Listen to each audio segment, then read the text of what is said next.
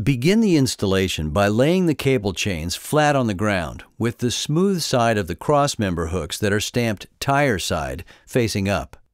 Ensure that there are no tangles or snags in the chain, then move the cable chain in a sweeping motion under the vehicle so that the chain continues around the back side of the tire.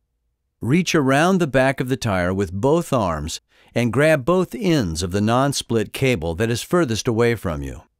Pull both ends to the top of the tire so that the fasteners can be easily seen and handled.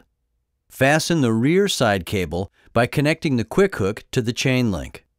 Center the cable chain on the tire so that each side cable extends equally down the side walls of the tire. At the top front of the tire, take the nub end of the outside side cable and thread it through the keyhole fastener.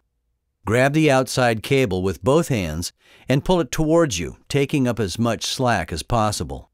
Insert the nub end of the lower outside cable near the ground into the lower keyhole fastener, making sure that both fasteners, top and bottom, are adjusted within one nub of each other. Secure the nub ends of the outside cable by moving the blue spiral plastic cover over them using a turning motion. Drive the vehicle for approximately a quarter mile and recheck the cable chains to complete the installation. These installation instructions are the same for both passenger and light truck SUV applications.